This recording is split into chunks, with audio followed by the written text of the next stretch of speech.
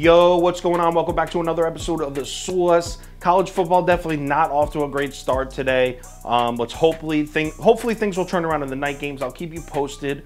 Uh, definitely a rough start for us. Update: So college football picks turned around. Top bets are actually five and two right now. We need Arkansas to come back though. They're down nine, so I'll keep you posted. But let's put it to the side because it's NFL Sunday, and I got a great game for you. And AFC East, I'm sorry, Dolphins Bills should be a battle. Let's dive in. Welcome to the Sauce. The Sauce. Sauce. Hey, get the Sauce. All right, Buffalo on the road down in Miami. The line opens up Miami plus five and a half, and 85% of early money's on Buffalo, as you would expect. Public heavy on the Bills here. This is as of Tuesday morning. Yo, check this out though. So as the week progressed, more and more Miami Dolphins money started to come in. Uh, maybe it's the Buffalo Bills injury reports, which we'll get to in a second. Um, maybe people are just going sharp, taking the Dolphins, but the books eventually dropped the line. We're looking at Miami plus five even now. All right, let's run through a quick breakdown, and we'll start with the Bills secondary because that is basically an emergency for the Bills right now. Um, Tre'Davious White obviously still out. Their number two corner, Dane Jackson, also out. Their all-pro safety, Micah Hyde, out.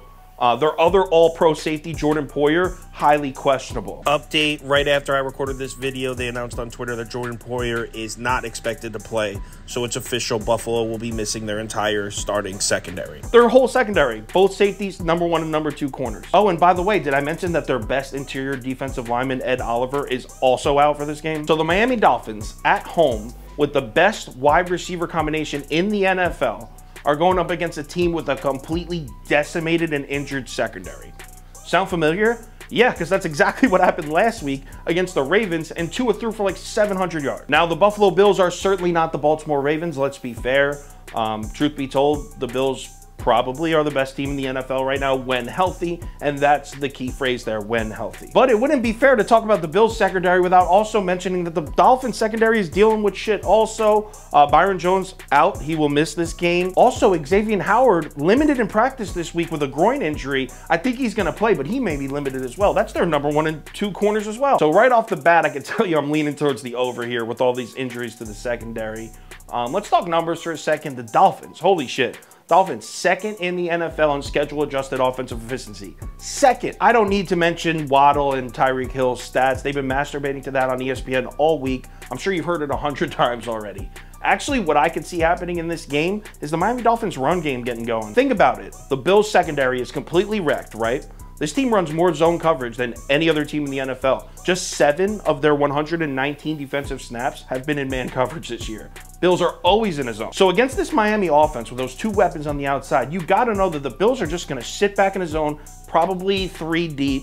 Um, and I think there's going to be openings for five, six yard carries or short passes underneath all game for Miami. I think the Bills are going to give it to them. The question is, can Tua and the Dolphins maintain these drives without making a mistake? Because in order to beat a team that's giving you that, you need to be able to sustain 14, 15 play drives at times. Don't forget, head coach Mike McDaniels comes from San Francisco with uh, Kyle Shanahan. This dude is no stranger to establishing a run game and calling it a conservative offense. I truly think Mostert and Chase Edmonds, or one or the other, um, is poised to have a real solid, efficient game here. Do I think Buffalo is going to score on Miami's defense? Yeah, yeah, they are. Um, but I also think Miami's going to score right back on Buffalo, uh, which is why I said definitely on the over at 53. As far as picking aside, this line just keeps dropping and I hate it. Um, but I'm going to take the five points at home with Miami. This Dolphins team is different than Miami teams of the past. Um, I, this may come back to bite me in the ass, but there's no way with all of this money going to Buffalo. I know the sportsbooks aren't trying to lose money. So I'm going sharp here, fading the public. Give me Dolphins plus five. If anything changes with that bet, I will let you know on Twitter. So give me a follow there if you're interested. Um, also, if you're interested in the Sunday ticket that I do, which is bet of the day, underdogs of the day, three parlays of the day, top seven bets, and then all the picks for every single game from the staff. Um, definitely go to kylekirms.com or download the Sauce Network app. Week three NFL Sunday. Let's get pumped. Hopefully, this college football Saturday night turns around. We'll see. I will keep you posted. Let's have a good Sunday. I'll talk to you on Twitter.